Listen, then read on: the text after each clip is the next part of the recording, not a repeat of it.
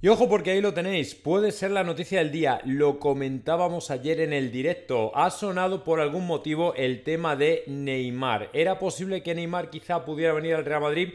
Pues hombre, a tanto como eso no llego, pero sí que es verdad que J, eh, perdón, Josep Pererol decía precisamente ayer en Jugones que Neymar podría ver una salida muy probable a su estancia en el Paris Saint Germain, un punto final al Paris Saint Germain precisamente por el tema de que le está trayendo de cabeza con Mbappé. Gaultier precisamente salía a rueda de prensa a decir lo que ahí estáis viendo. El técnico no ha cerrado la puerta precisamente porque la situación con Neymar es complicada. Claro, lógicamente a Mbappé no le pueden echar, así que si no podemos echar a Mbappé, pues vamos a quitar de la ecuación a quien sí podemos echar, que es, o podemos quitar, que es ni más ni menos que a Neymar. Que luego puede estar el Real Madrid por ahí interesado, bicheando, husmeando, a ver si puede ser. Hombre, yo a tanto ya no os puedo decir, no llegaría de momento hasta que no tenga más información a afirmar que el Madrid puede ir detrás de Neymar, porque ya entiendo que es un jugador que, hombre, no voy a decir que está pasado, es un gran jugador, pero creo que no seguiría la política del Real Madrid.